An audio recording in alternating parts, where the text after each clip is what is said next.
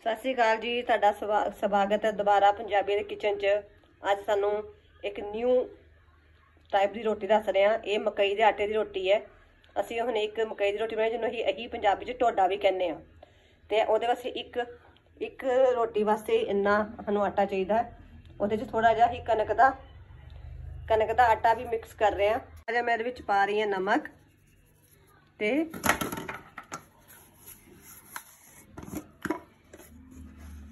ਜਵੈਨ ਹੁਣ ਇਹਨੂੰ ਇੱਥੇ ਗਰਮ ਪਾਣੀ ਪਾ ਕੇ ਅਸੀਂ ਇਹਨੂੰ ਗੁੰਨਣ ਲੱਗੇ ਆ ਦੇਖੋ ਗੁੰਨ ਰਹੇ ਨੇ। ਠੀਕ ਹੈ? ਕਿਉਂਕਿ ਇਹਨੂੰ ਬੜੇ ਪਿਆਰ ਨਾਲ ਗੁੰਨਣਾ ਹੁੰਦਾ ਵਾ। ਜਿੰਨਾ ਹੀ ਅੱਛੀ ਤਰ੍ਹਾਂ ਗੁੰਨਾਂਗੇ, ਉਨੇ ਹੀ ਸਾਡੀ ਰੋਟੀ, ਜਿਹੜੀ ਸਾਡੀ ਮਕਈ ਦੀ ਰੋਟੀ ਜਿਹਨੂੰ ਅਸੀਂ ਢੋਡਾ ਕਹਿੰਦੇ ਆ ਬੜਾ ਫਸਟ ਕਲਾਸ ਵਧੀਆ ਬਣੇਗਾ। ਔਰ ਇਹਦਾ ਵੀ ਇੱਕ ਤਰੀਕ ਹੁੰਦਾ ਹੈ। ਔਰ ਇਹ ਰੋਟੀ ਹਰ ਕੋਈ ਨਹੀਂ ਬਣਾ ਸਕਦਾ ਇਹਦੇ ਲਈ ਬੜੀ ਪ੍ਰੈਕਟਿਸ ਚਾਹੀਦੀ ਹੈ।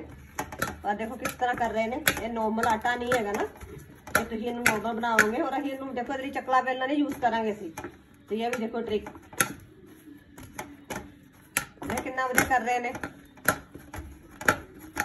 ਔਰ ਅਸੀਂ ਇਹਨੂੰ ਕਿੰਨਾ ਖਾਵਾਂਗੇ? ਤੁਹਾਨੂੰ ਇੱਕ ਰੈਸਪੀ ਵੀ ਸ਼ੇਅਰ ਕੀਤੀ ਸੀ ਨਾ, ਸਰਸੋਂ ਦਾ ਸਾਗ। ਤੇ ਉਹ ਦੇਖ ਲਿਓ, ਸਰਸੋਂ ਦਾ ਸਾਗ ਤੇ ਨਾਲ ਹੋਏ ਮਕਈ ਦੀ ਰੋਟੀ। ਨਾਲ ਹੋਏ ਮਕਈ ਦੀ ਰੋਟੀ ਤੇ ਨਾਲ ਹੋਏ ਸਰਸੋਂ ਦਾ ਸਾਗ ਤੇ ਨਾਲੇ ਗਲਾਸ ਲੱਸੀ ਦਾ ਤੇ ਹਰੀ ਮਿਰਚ ਦਾ ਅਚਾਰ।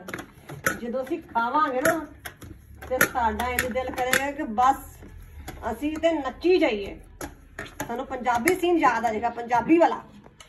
ਮਕਈ ਦਾ ਆਟਾ ਹੁੰਦਾ, ਵੈਸੇ ਵੀ ਬੜਾ ਅੱਛਾ ਹੁੰਦਾ ਹੈ ਹੈਲਥ ਵਾਸਤੇ। ਇਹਨੂੰ ਵੈਸੇ ਤਾਂ ਖਾਣਾ ਚਾਹੀਦਾ ਸਾਨੂੰ। ਅਸੀਂ ਤਾਂ ਬਸ ਇੱਕ ਕਣਕ ਦਾ ਆਟਾ ਲਿਆ ਜਿਹੜਾ ਕਿ ਕਿੰਨਾ ਕੁਛ ਅੱਛਾ ਅੱਜ ਕੱਲ ਲੋਕਾਂ ਨੇ ਮਿਕਸ ਕਰਤਾ ਵਾ। ਅਸੀਂ ਕਿਹੜਾ ਕੋਈ ਫਰੈਸ਼ ਕਣਕ ਨਾ ਖਾਂਦੇ ਆ ਤੇ ਮਕਈ ਦਾ ਆਟਾ ਵੀ ਵਿੱਚ ਵਿੱਚ ਯੂਜ਼ ਕਰਦੇ ਰਿਹਾ ਕਰੋ। ਪਹਿਲਾਂ ਤਾਂ ਅਸੀਂ ਤੁਹਾਨੂੰ ਦੱਸਦੇ ਹਾਂ ਕਿ ਦੀ ਰੋਟੀ ਕਿਵੇਂ ਬਣਾਉਣੀ ਹੈ। ਦੇਖੋ ਹੁਣ ਦੇਖੋ ਤੁਸੀਂ ਕਿੰਨਾ ਟਾਈਮ ਲੱਗ ਗਿਆ ਇੱਕ ਆਟੇ ਨੂੰ ਬਣਾਉਣ ਵਿੱਚ। ਦੇਖੋ ਜੀ, ਬਣ ਗਿਆ ਨਾ ਗੋਲ ਮਟੋਲ ਪੇੜਾ। ਲੋ ਜੀ, ਅਸੀਂ ਗੈਸ ਔਨ ਕਰਤਾ ਹੈ, ਤਵਾ ਰੱਖਤਾ ਹੈ, ਕਿਉਂਕਿ ਇਹਦੇ ਲਈ ਇੱਕ ਤਵਾ ਗਰਮ ਹੋਣਾ ਚਾਹੀਦਾ ਹੈ। ਔਰ ਇੱਧਰ ਦੇਖੋ, ਬਣ ਰਿਹਾ ਹੈ ਸਾਡਾ ਟੋਡਾ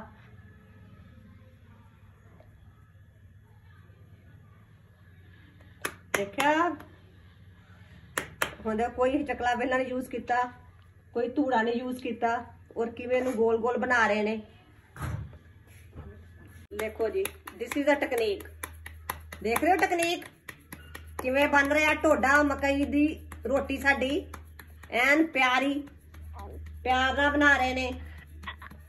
ਦੇਖੋ ਵੀ, ਐਨ ਗੋਲ ਮਟੋਲ, ਵਧੀਆ ਫਸਟ ਕਲਾਸ ਬਣ ਗਈ ਨਾ ਸਾਡੀ ਰੋਟੀ, ਜਿਹਨੂੰ ਅਸੀਂ ਕਹਾਂਗੇ ਟੋਡਾ ਤੇ ਇਸ ਨੂੰ ਪਾਤਾ ਜੇ ਹੁਣ ਤਵੇ ਦੇ ਉੱਤੇ, ਪਿਆਰ ਦੇ ਨਾਲ। ਬੋਲੋ ਜੀ, ਵਾਹਿਗੁਰੂ। ਅਸੀਂ ਦੇਖੋ ਗੈਸ ਨੂੰ ਫੁੱਲ ਰੱਖਣਾ ਹੈ, ਕਿਉਂਕਿ ਇਹਨੂੰ ਥੋੜਾ ਇਹ ਟਾਈਮ ਲੱਗਦਾ ਹੈ। ਹਜੇ ਹੀ ਪਾਸਾ ਨਹੀਂ ਪਰਤਿਆ ਇਹਦਾ, ਠੀਕ ਹੈ? ਦੇਖੋ ਕਿੰਨੀ ਵਧੀਆ ਲੱਗਦੀ ਹੈ, ਤਵੇ ਤੇ ਵੀ ਇਹੋ ਜਿਹੀ ਰੋਟੀ ਨਹੀਂ ਆਉਂਦੀ, ਜਿਹੜੀ ਕਿ ਹੱਥਾਂ ਦੇ ਨਾਲ, ਮਤਲਬ ਹੱਥਾਂ 'ਚ ਇੰਨੀ ਬਖਸ਼ ਹੁੰਦੀ ਹੈ। ਠੀਕ ਹੈ, ਕਿੰਜ ਦੀ? ਬਣੀ ਇਹਦੇ ਲਈ ਪ੍ਰੈਕਟਿਸ ਚਾਹੀਦੀ ਹੈ। ਐਵੇਂ ਨਹੀਂ ਹੋ ਜਾਂਦੀ। ਦੇਖੋ ਜੀ, ਹੁਣ ਇਹਨੂੰ ਅਸੀਂ ਇਹਦਾ ਚੇਂਜ ਕਰਨਾ ਸਾਈਡ ਔਰ ਇੰਨਾ ਈਜ਼ੀ ਨਹੀਂ ਹੈ। ਬੜੇ ਪਿਆਰ ਨਾਲ, ਆਰਾਮ ਨਾਲ ਕਰਨਾ ਹੁੰਦਾ ਲੋ ਜੀ, ਵਾਹ ਜੀ ਵਾਹ। ਕੀ ਬਣਿਆ ਹੈ? ਵਾਹ ਜੀ ਵਾਹ। ਵੈਰੀ ਗੁੱਡ ਦੇਖਿਆ? ਸਾਡਾ ਟੋਡਾ, ਜਿਹਨੂੰ ਕਹਿੰਦੇ ਮਕਈ ਦੀ ਰੋਟੀ। ਔਰ ਤੁਹਾਨੂੰ ਇੰਨਾ ਪਤਾ ਹੋਣਾ ਚਾਹੀਦਾ ਕਿ ਇਹ ਅਸੀਂ ਨਹੀਂ ਕਰ ਸਕਦੇ। ਇਹ ਪੁਰਾਣੇ ਬਜ਼ੁਰਗ ਹੀ ਕਰ ਸਕਦੇ ਆ ਤੇ ਮੇਰੇ ਮਦਰ ਹੀ ਬਣਾ ਰਹੇ ਨੇ। ਮੈਂ ਬਸ ਜਾਂਚ ਸਿੱਖ ਰਹੀ ਹਾਂ। ਪੁਆਇੰਟ ਲਾਇਆ।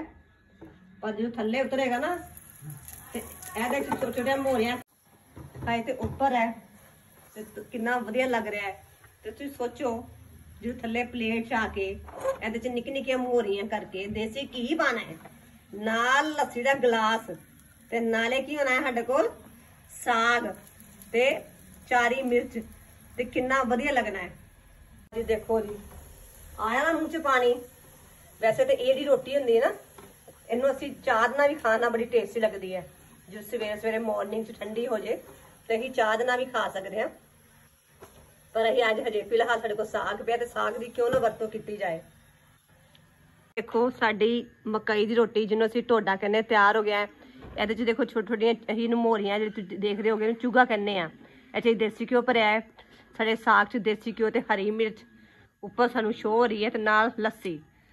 ਕਿਆ ਸਵਾਦ ਆ ਗਿਆ ਨਾ। ਜਿਵੇਂ ਖੇਤਾਂ ਵਿੱਚ ਬੈਠ ਕੇ ਖਾਂਦੇ ਨੇ। ਤੇ ਤੁਸੀਂ ਵੀ ਸਵਾਦ ਲਓ। ਮੇਰੇ ਚੈਨਲ ਨੂੰ ਚੈੱਕ ਵੀ ਕਰੋ, ਦੇਖੋ ਵੀ। ਮੇਰੀ ਵੀਡੀਓ ਲਾਈਕ ਵੀ ਕਰੋ ਸ਼ੇਅਰ ਕਰੋ, ਪੂਰੀ ਦੇਖੋ। ਤੇ ਚੈਨਲ ਨੂੰ ਸਬਸਕ੍ਰਾਈਬ ਕਰ ਦੇਣਾ। ਜਰੂਰ ਸਬਸਕ੍ਰਾਈਬ ਕਰਨਾ, ਕਿਉਂਕਿ ਤੁਹਾਨੂੰ ਮੈਨੂੰ ਹੋ- ਤੁਹਾਨੂੰ ਹੋਰ ਮੇਰੀ ਵੀਡੀਓ ਤੁਹਾਨੂੰ ਨਵੀਆਂ ਨਵੀਆਂ ਰੈਸਪੀਆਂ ਦੇਖਣ ਨੂੰ ਮਿਲਣਗੀਆਂ। Thank you